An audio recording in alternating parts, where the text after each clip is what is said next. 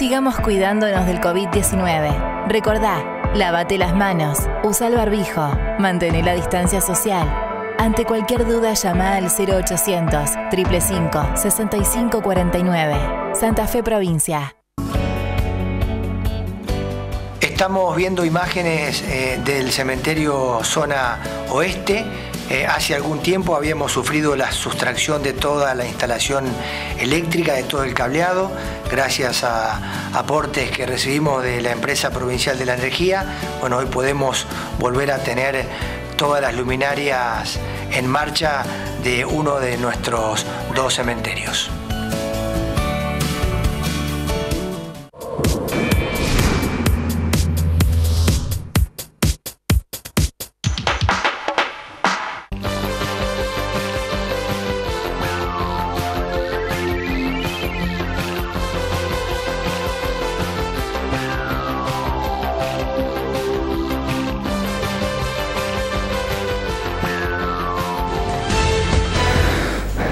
Buenas noches, ¿cómo les va? ¿Cómo están? ¿Cómo andan todos? Acá llegamos nosotros para un nuevo lunes de San Genaro Noticias, en vivo como siempre en la pantalla de Canal 4, donde te vamos a contar lo que ha pasado en las últimas horas y lo que se viene para el desarrollo de estos próximos días debido a las nuevas restricciones.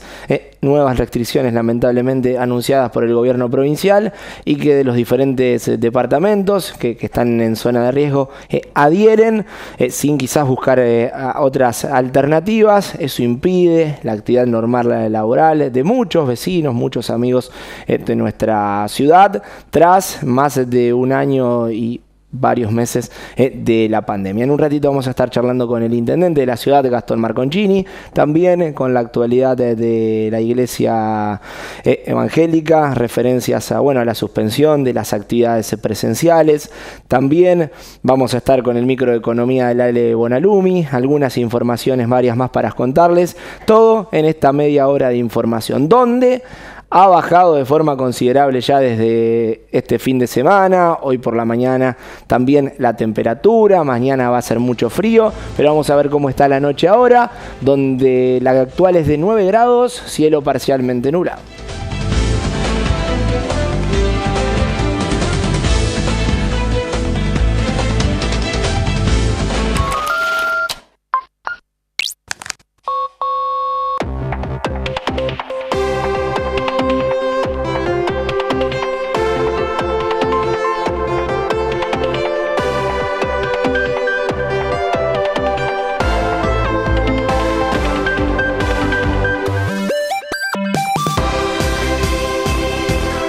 Tecnología nos conecta. La solidaridad nos une. Banco Credicop Cooperativo. La banca solidaria.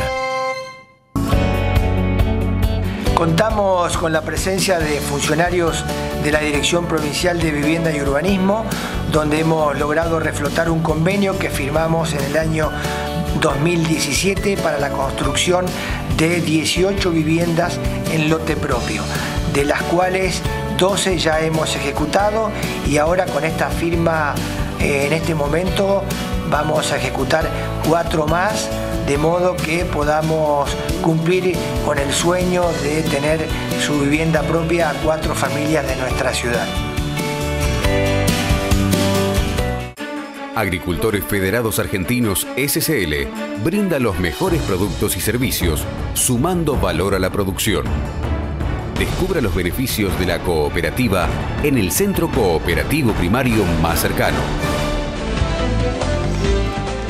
Eh, este lunes que comenzó con bueno, la triste noticia de anoche del fallecimiento del ex gobernador, actual diputado, el ingeniero Miguel Lifchitz, a los 65 años, tras padecer coronavirus y estar internado desde el 19 de abril en el Sanatorio Parque de la ciudad de Rosario. Lifchitz el 10 de abril comenzó con los síntomas de COVID, dio positivo en el hisopado, fue internado en una sala intermedia el 19 de abril y luego ya ha pasado terapia intensiva, donde tenía la asistencia de respiración mecánica. Bueno, lamentablemente anoche y a sus 65 años falleció el referente máximo, hoy por hoy que tenía la provincia de Santa Fe y, el país en cuanto al socialismo, al Frente Progresista Cívico y Social. Lifshitz, una persona muy querida en el ámbito de la política, también en, la, en toda la provincia y respetado por sus pares del ámbito político. Y también eh, con mucha cercanía a nuestra ciudad, desde lo personal, siempre Lifshitz muy atento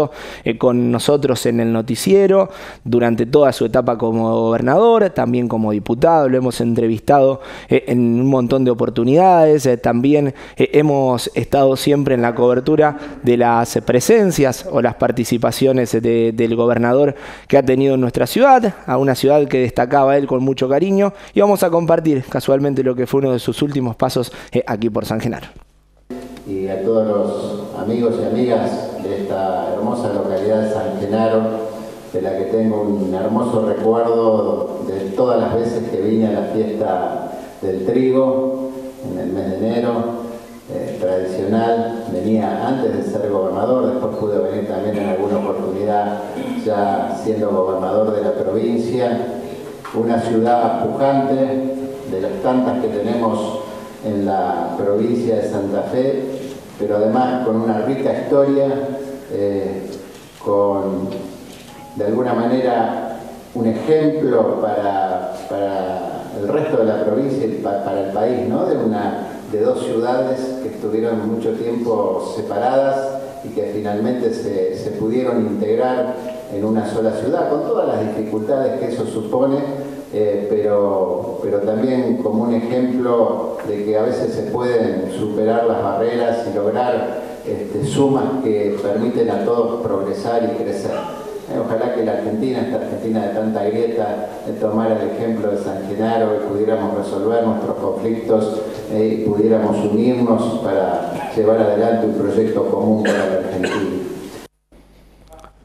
Regresamos, escuchábamos, bueno, una de las últimas eh, presencias cuando fue cuando estuvo participando en la inauguración del auditorio, del Museo Auditorio de nuestra ciudad. Y ya tenemos en línea al intendente de la ciudad, Gastón Marconchini. Gastón, ¿cómo estás? Buenas noches. Hola Santiago, buenas noches, ¿cómo estás? Bueno, una pérdida eh, dolorosa, Gastón, la que compartíamos recién, de, la última, uno de los últimos acercamientos del ex gobernador a nuestra ciudad, una persona como Lichi siempre muy presente eh, en San Genaro. Sí, Santiago, una pérdida eh, muy triste, muy dolorosa. ha sido un gobernador comprometido con la gente, me atrevo a decirte sin ninguna duda que ha sido eh, el mejor gobernador lejos de los últimos tiempos, pero además de haber sido un gran gobernador que ejecutó un montón de programas y un montón de, obras en la provincia de Santa Fe, era una gran persona, era un hombre sencillo, eh, que atendía a, los presidentes comunales y a los intendentes, no solamente del Frente Progresista, ¿no? sino de todos los partidos políticos. Tenemos, bueno, pruebas eh, cercanas de, dentro del departamento de que atendía a, incluso a las comunas y a las municipalidades que no eran del Frente Progresista. La verdad que una, una pérdida lamentable para la política de la provincia de Santa Fe del, y del país, te diría, porque tenía eh, aspiraciones, bueno, a ser senador nacional, no estaba definido, pero tenía este, posibilidades concretas de serlo. Y bueno, lamentamos muchísimo, queremos hacer llegar nuestro, nuestras condolencias a, a sus familiares, a sus amigos, a, a todos los seguidores del Partido Socialista y a todos los seguidores del Frente Progresista que nos sentimos eh, parte con Miguel eh, a la cabeza de un, de un movimiento eh, importante que yo creo va a quedar en la historia como el gran gobernador de las grandes obras en toda la provincia de Santa Fe. Gastón, para volver eh, al día a día, desde el sábado, sin mucha claridad, desde ayer explicándose un poco más, rigen nuevas restricciones por estos prácticamente 15 días. Bueno, la verdad que bastante confuso, Santiago, todo eso recibimos un decreto donde bueno marcaban algunas restricciones y luego eh, llegó una resolución de la Secretaría de Deportes donde, eh, bueno, no coincidía con el decreto del gobierno de la provincia, así que fue toda una confusión que generó mucho malestar, todavía hoy genera mucho, mucho malestar y mucha preocupación, especialmente eh, en los empresarios em, que tienen gimnasios, que, tienen, bueno, aquellas artistas, eh, profesoras de danzas, culturales, la verdad que em, creemos que ese tipo de actividades no son el factor de contagio más importante ni mucho menos. Eh, además, vienen de pasar de, del año pasado de momentos eh, donde no pudieron trabajar durante muchísimo tiempo. Así que entendemos el malestar. Eh, obviamente los vamos a acompañar en una nota que ya hemos elevado al senador del departamento, que es el presidente del Comité Departamental de Crisis, para que a su vez eleve al gobernador eh, un, pedido para que revea esta medida. Eh, vuelvo a repetir, no, no creemos que restringir ese tipo de actividades eh, sea la solución del problema. El problema del contagio está en, en, otras este, en otras situaciones, en otras situaciones, en otras actividades. Pero bueno, los clubes por lo pronto, siempre con buena predisposición, los clubes de nuestra ciudad eh, de manera conjunta han decidido cerrar las puertas acompañando al decreto eh, del gobernador. Así que bueno, eh, esperemos saber alguna respuesta, Santiago. El tema es, vuelvo a repetir, algo que ya lo he dicho muchas veces. No pueden ustedes autorizar, Gastón, que trabajen, por ejemplo, los gimnasios con protocolos como vienen haciéndolo. Exactamente. Lo que podemos, a ver, la potestad que tiene el Comité de Crisis Local y el Comité de Crisis Departamental es restringir aún más las medidas eh, eh, que, tomó el, gobernador. Lo que nunca podemos hacer es flexibilizar esas medidas. Eh, que digo, aclaro esto porque mm, hemos recibido bueno el pedido de, este, de algunos sectores de flexibilizar algunas actividades y realmente no lo podríamos no lo podemos hacer estaríamos incumpliendo con un decreto y bueno de ese modo podríamos estar sujetos a una denuncia penal por incumplimiento de una ley de aplicación provincial, ¿no? Pero bueno, hemos este, elevado esta nota, a ver si, si tenemos alguna respuesta de parte del gobierno de la provincia de Santa Fe. La verdad que el, malestar es en general, en, todo lo, largo y lo ancho de la provincia. Pero bueno, esperaremos alguna respuesta, Santiago. Gastón va en nombre de la gestión municipal o también de otros municipios que, que, se, que se pliegan. Eh, este, este reclamo, este pedido? No, puntualmente este pedido, Santiago, es este, en nombre de todos los, este, los, gimnasios, las escuelas de danza de la localidad, que le piden al comité local eh, de, crisis que eleve al, al, departamental para que el departamental lo eleve al gobierno de la provincia. Pero esta movida que se ha dado aquí en San Genaro, se ha dado, en, yo te diría, en la mayoría de las localidades en la provincia, ¿no? Hay un, malestar generalizado por este, estas restricciones que afecta muchísimo, bueno, el trabajo de muchísima gente, hay, gente que, que no se pudo recuperar todavía de la difícil situación que se atravesó el año pasado, y ahora con esto, bueno, vuelven a caer en una situación muy complicada sin poder trabajar. Además, eh, hay mucha gente que necesita este tipo de actividades eh, recreativas eh, porque le hacen bien a la salud. Eh, eso ya está, creo que, reconocido por, todo el, por todos los médicos, pero bueno, hay que esperar la decisión del gobernador de la provincia a ver si revé esta, esta resolución y da marcha atrás.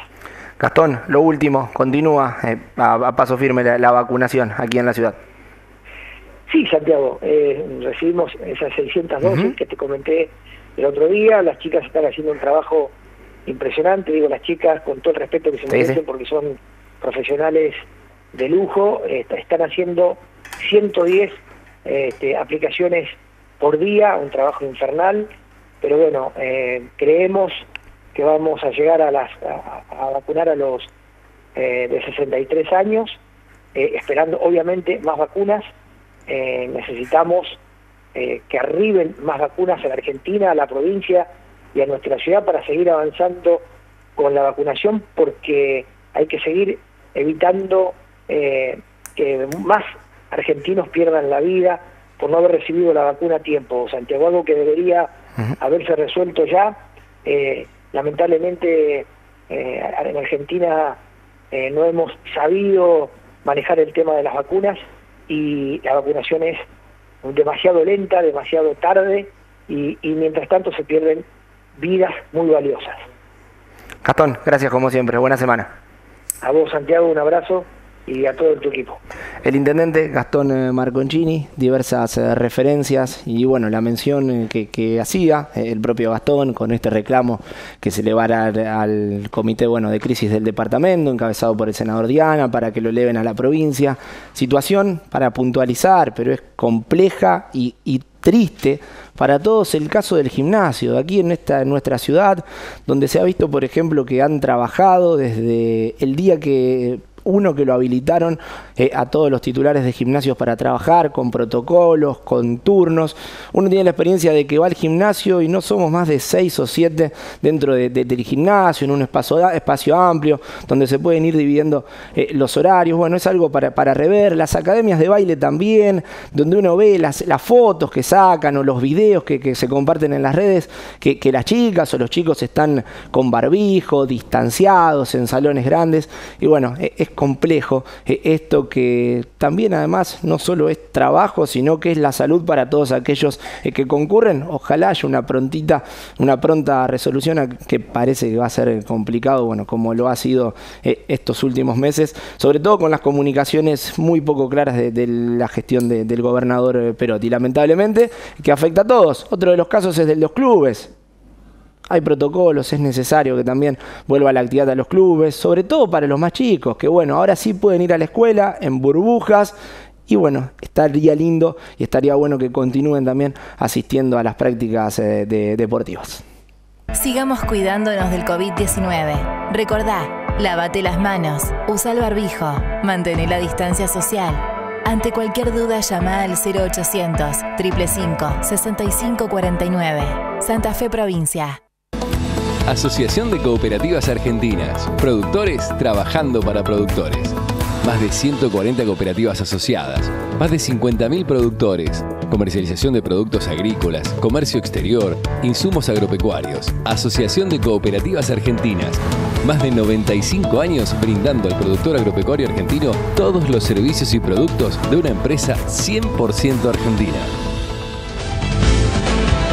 Otras de las actividades que se suspendieron fueron las eh, religiosas. Vamos a escuchar al pastor Rubén Saltor de la iglesia Dioses Amor.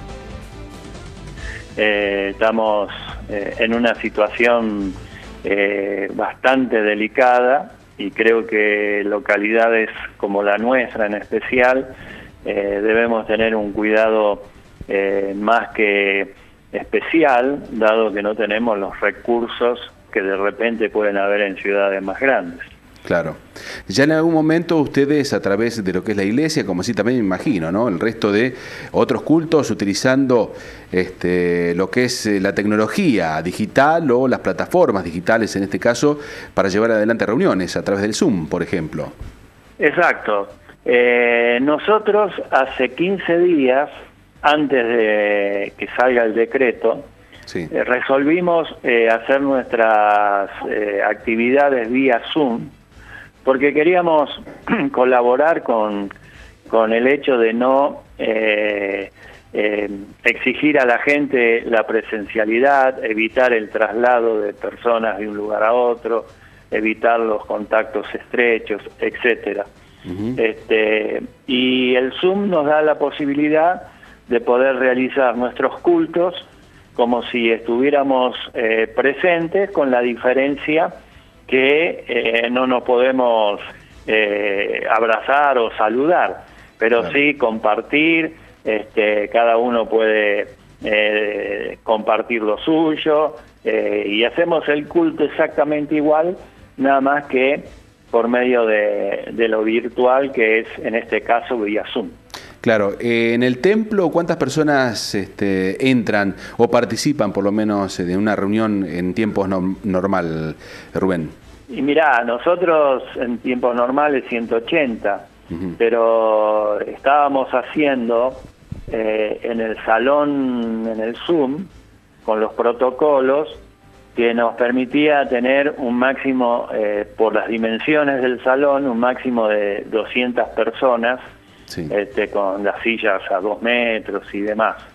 Eh, nunca llegamos a reunir unos 200, pero sí teníamos una muy buena asistencia. Eh, ahora obviamente volvimos al Zoom, que eh, creo que era aconsejable a raíz de cómo estaba la situación tanto en la ciudad y nosotros tenemos el caso de muchos que vienen de localidades vecinas, entonces eso también nos hizo pensar en la posibilidad de lo virtual. Claro. Eh, Rubén, sin lugar a dudas que, que, bárbaro, ¿no? Porque estamos en una etapa mucho más compleja que en los últimos meses, ¿no? Aquello que recordabas vos, cómo se venía trabajando, pero que, impacta de una manera muy fuerte, ¿no? Parece que tenemos un virus que es mucho más nocivo, que, es mucho más contagioso, que parece que llega más ¿eh? a la comunidad en lo que hace a los perjuicios, ¿cierto? Y las consecuencias que genera. Sí, mira, eh, te cuento, eh, yo hace, no sé, menos de un mes eh, tuve COVID. Y, y, realmente es algo que te supera. Si bien yo doy gracias a Dios que no necesité internación, pero el desgano, la fuerza, el dolor de cuerpo, la falta de voluntad, el no tener sabor y no sé cuántas cosas más, hacen de que uno realmente eh, se sienta se sienta mal. Eh, y ni hablar cuando veo casos como eh, la triste noticia de, de Lipschitz ayer donde personas jóvenes terminan muriendo que pareciera que es un virus inofensivo pero que realmente trae sus complejas eh, situaciones que a veces son muy graves. Y en los grupos etarios eh, distintos se nota más, porque antes se pensaba con que solamente las personas mayores o adultos a lo mejor impactaba de una manera muy fuerte. Ahora, sin lugar a dudas, también los jóvenes están expuestos. Y sí, y una de las cosas que nos llevó a nosotros tomar la decisión de hacerlo virtual, más allá del decreto que salió el fin de semana, es que la característica de nuestra iglesia es que es una familia, es decir, tenemos desde bebés hasta personas ancianas. Entonces, eh, todas las edades eh, están representadas en nuestra iglesia y creemos que debemos eh, cuidar tanto a los más chiquitos como a los más grandes. Este, pero es como decís vos, en este momento es como que no respeta una una edad determinada, sino sabemos de personas incluso muy jóvenes que han fallecido a causa de este virus. Las reuniones presenciales, yo digo que no en todo ámbito, eh, no se superan, ¿no? sino por lo que es una tecnología o por a través de las comunicaciones novedosas de los últimos tiempos, porque a veces hablar, poder emitir algún tipo de comunicación con la persona que esté en el momento y en el mismo lugar es algo que creo que hasta ahora no se ha superado. Pero ¿qué pasa? Tenemos que ser más que nunca conscientes, ¿cierto? y responsables a través de nuestras conductas, teniendo en cuenta esta realidad que estamos viviendo.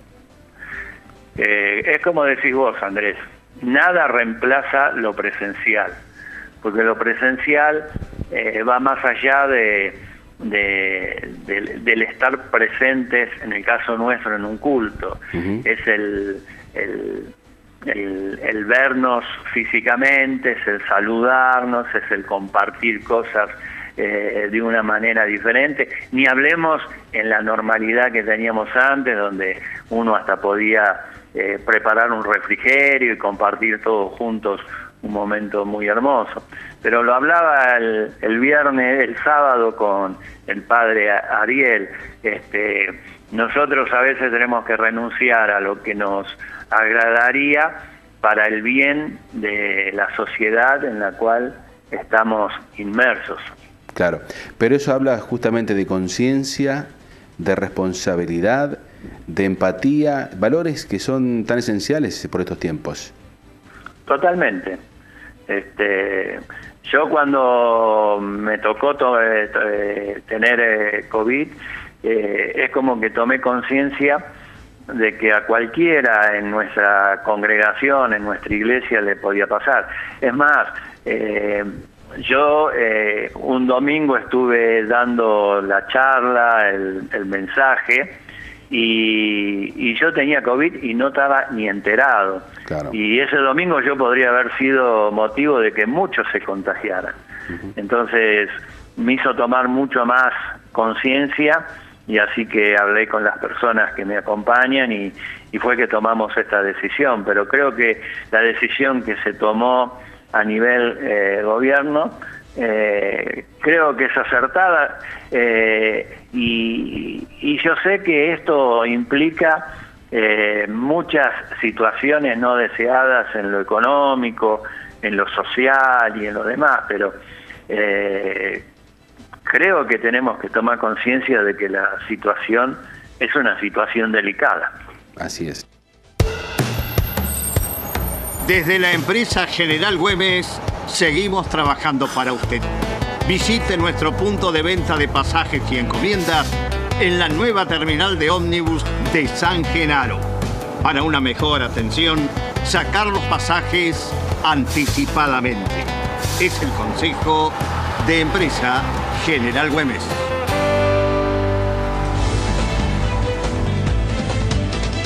Vamos estos últimos minutos para escuchar un poquito de economía con Ale Bonalumi. Ale, ¿cómo estás? Buenas noches. ¿Cómo te va, Santi? Muy buenas noches para vos, para todos los televidentes. Jornada desde lo financiero y cambiario y bursátil. Un día propicio. Un banco central comprando cerca de 140 millones. Un dólar muy estable, solamente una suba puntual del dólar blue de uno o dos pesos, que nada cambia el escenario que por lo menos tenemos en los últimos tiempos. Es más, 155, 156 para el tipo de cambio no es nada, nada preocupante. Eh, la otra noticia tiene que ver puntual con algunos factores específicos del de, eh, sector construcción. En nuestra región, un relevamiento que hice hoy, se está normalizando la falta de abastecimiento. A ver, no está pleno, sí está mejor. Faltan clavos, falta hierro para la construcción, sus derivados. Eh, por ahí no hay en los mayoristas y hay que salir a buscar a las ferreterías con las pocas cantidades que se consiguen, con entregas postergadas 10, 15 días, pero sí la preocupación eh, sin dudas tiene que ver con eh, los costos, son totalmente imparables, hay un aumento promedio interanual del 65%. ¿Cómo podés proyectar desde la construcción, hacer un análisis de costos, armar un presupuesto, ir avanzando? Eh, eh, en, el cumplimiento de la obra si no sabes cuánto, cuánto tiene de costo ese, ese proceso. Eh, me parece que es muy difícil. Pero bueno, veremos cómo sigue esa historia. La otra noticia es que ANSES confirmó el aumento del 12,12% para jubilados, pensionados y asignaciones.